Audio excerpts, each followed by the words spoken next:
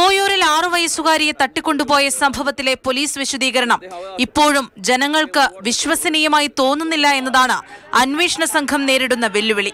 ഇതെങ്ങനെ കോടതിയെ ബോധ്യപ്പെടുത്താൻ കഴിയുമെന്ന ചോദ്യമാണ് അടുത്ത പ്രതിസന്ധി. കോടികളുടെ ബാധ്യതയുള്ള പത്മകുമാറും കുടുംബവും കേവലം അഞ്ചു ലക്ഷം മാത്രം ലഭിക്കുന്ന തട്ടിക്കൊണ്ടുപോകലിന് തയ്യാറായി എന്ന പോലീസ് വാദത്തിന് തീരെ ബലമില്ല.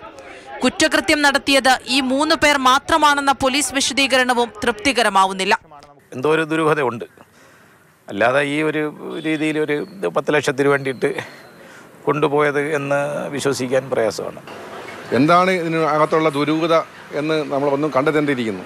കേസ് അവസാനിപ്പിക്കാൻ അന്വേഷണ സംഘം തിടുക്കം കാട്ടിയെന്ന വിമർശനവും നിലനിൽക്കുന്നുണ്ട്. പ്രതികളെ ചോദ്യം ചെയ്യാൻ പോലീസിന് ലഭിച്ച സമയം പതിമൂന്ന് മണിക്കൂറിൽ താഴെയാണ്. പ്രതികൾ പറഞ്ഞ കാര്യങ്ങൾ അന്വേഷണ സംഘം അതേപോലെ ആവർത്തിക്കുകയായിരുന്നുവെന്ന പോലീസ് വിശദീകരണം കേട്ടാൽ ആർക്കും തോന്നും. യഥാർത്ഥത്തിൽ പോലീസിന് തികഞ്ഞ പരാജയമാണ് ഉണ്ടായിട്ടുള്ളത്.